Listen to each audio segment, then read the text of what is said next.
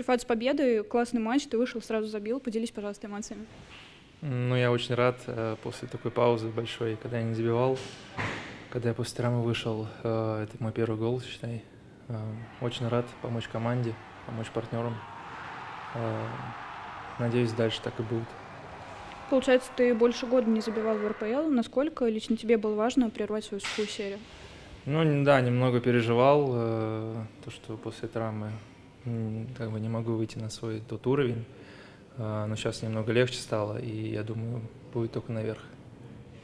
расскажи, после матча в Екатеринбурге, насколько тебе было морально тяжело, как получилось это перебороть, за счет чего?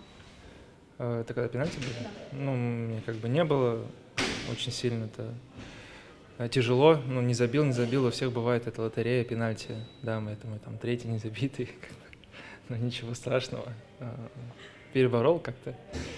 Э, близкие поддерживали, а, жена поддерживала, поэтому нормально все. А сейчас перед выходом на замену что тебе тренер сказал?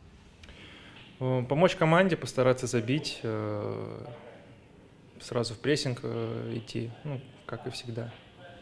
Следующий матч мы уже проведем во вторник. Что скажешь болельщикам?